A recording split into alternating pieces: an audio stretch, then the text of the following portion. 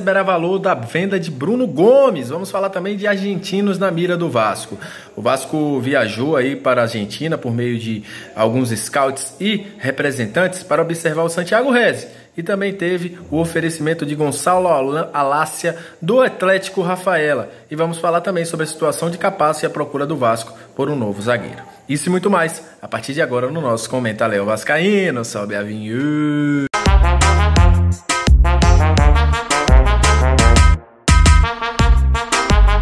Salve, salve vascaínos e vascaínas. Aquele abraço para você que está sempre junto com a gente, que curte, compartilha, que se inscreve no nosso canal, que deixe seu comentário. Muito obrigado pela moral. Para você que está chegando pela primeira vez, seja muito bem-vindo. Eu sou o Léo, aquele lugar de análise, informação, opinião. Seja muito bem-vindo ao nosso Comentário Vascaíno. Se você gostar, deixa seu like, curte e se inscreve no canal. Para a galera que já chega, que já é do nosso canal, já sabe, né? Eu não estou no nosso, no nosso habitat normal, né? Estou numa mini férias, mas não deixaria de fazer, trazer vídeos para vocês. Para a galera que está chegando agora, nossos vídeos geralmente não são nesse ambiente, não. Aqui eu estou passando férias, por isso que estamos gravando o vídeo dessa forma aí. A gente sempre grava de uma forma diferente. Olha, hoje algumas informações surgiram. Primeiro, vamos falar sobre os oferecimentos. Gonçalo Alácia, jogador do Atlético Rafaela, 18 anos, jogador de muita qualidade, mas ainda promissor. Acredito que um jogador que ainda precisa ser um pouco mais trabalhado. Foi oferecido ao Vasco por meio de representantes. O Vasco analisa o jogador, mas até o momento não tem nenhuma proposta. É o mercado né, sul-americano de olho na situação do Vasco, vendo que o Vasco é um clube que tem gastado bastante no na sua primeiro ano aí de SAF. E assim, vão aparecer diversos, como houve diversos oferecimentos que a gente nem sequer sabe, né? Porque as coisas não foram divulgadas. Mas é um bom jogador, mas acredito que não seria um jogador que chegaria para ser titular do Vasco. O Vasco poderia trabalhar ele bem, mas hoje não seria um jogador para ser o 10, como a gente fala, ou 8 ou 9, sei lá. Não seria um jogador para ser um jogador titular do Vasco hoje. Mas é uma aposta muito interessante e valeria o risco, mas não para um longo, para um médio curto prazo, mas sim para um longo prazo. Essa é a minha opinião sobre a Lácia. Sobre Santiago Rezi, para mim seria titular fácil no Vasco. O Vasco, inclusive, vai observá-lo né, na Argentina. O Vasco vai tratar de alguns assuntos além de observação de jogadores na Argentina. Mas é um jogador de muita qualidade também. Um jogador que fez um belo campeonato é, argentino no ano passado. É um dos destaques argentinos. É um jogador que tinha uma expectativa muito grande de ir para a Europa, não conseguiu ir. Mas é um jogador de qualidade, gente. É um jogador que eu acho que se chegasse ao Vasco seria o camisa 5 da gente. Seria um cara que a gente precisa hoje, que a gente não tem no meio de campo, né? Zé Gabriel não é esse jogador, Galassa não é esse jogador, Matheus Barbosa também não é esse jogador. E eu acho que o Santiago Reze seria um jogador que se encaixaria bem nessa ideia aí do, do Maurício Barbieri e eu apoio muito a contratação dele.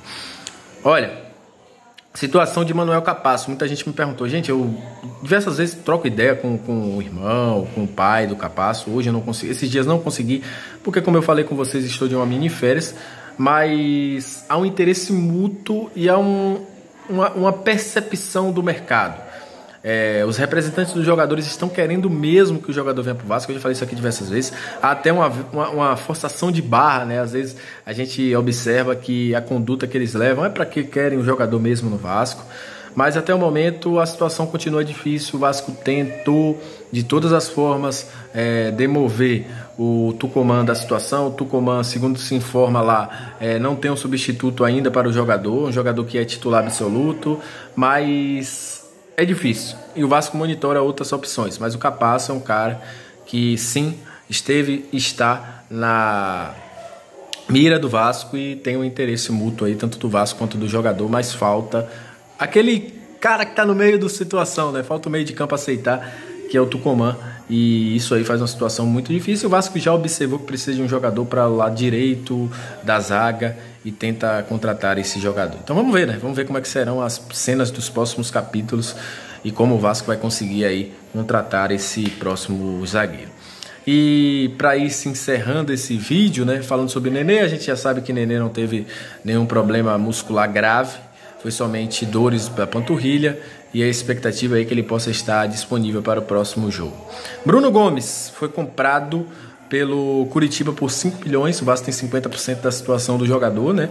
É, foi vendido a, ao Inter. Na verdade, foi cedido ao Inter, né? E o Vasco deve ter direito aí nesta negociação, deve receber um valor pelo nosso Bruno Gomes dando dinheiro ao Vasco, né? Não é aquilo que a gente esperava, que muitos esperavam, mas é o Bruno Gomes aí dando um retorno financeiro ao Vasco depois de algum tempo. Então é isso. Agradeço a você que chegou até esse momento do vídeo. Muito obrigado, muito obrigado pelo seu like, muito obrigado pelo seu é, comentário. Como eu já falei, os vídeos serão mais curtos, teremos uns vídeos por semana, né? Até a segunda-feira. Na segunda-feira a gente normaliza tudo. Voltamos com os nossos vídeos, dois vídeos é, por dia, nossa live semanal também.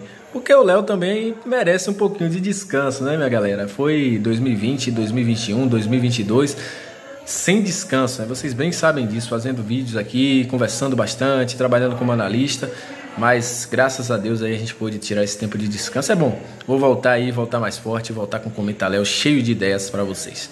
Tamo junto. Aquele abraço, saudações das caínas, até a próxima e valeu. Deus abençoe a todos.